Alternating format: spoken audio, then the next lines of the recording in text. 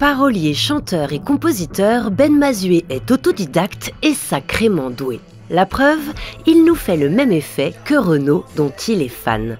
En clair, quand il parle de sa vie, ça fait écho dans la nôtre. D'autant que Ben Mazué est aussi un véritable soulman. D'abord influencé par les Américains Otis Redding, Al Green, Marvin Gaye ou Ray La Montagne, et qui aujourd'hui suit de près la carrière de la jeune française Iseult. Je suis parce que je trouve qu'elle a, une voix splendide et puis euh, euh, elle, progresse. Moi j'aime bien les, artistes qui progressent. Nous, ce qu'on aime bien, c'est que ce presque quarantenaire qui a été médecin avant d'être musicien ne s'interdit rien. Et ça lui réussit.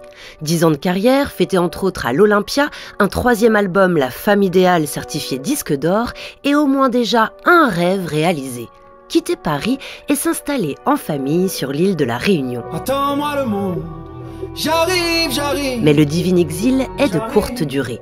Pour le couple, l'heure de la séparation a sonné.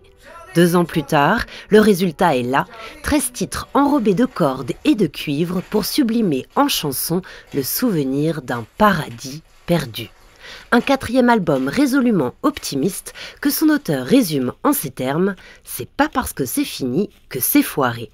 A tout de suite dans vos oreilles avec Ben Mazué en toute intimité et en audio 3D dans son studio de Paris 18e. avant qu'elle se barre, si on n'y arrive pas au paradis, on n'y arrivera nulle part.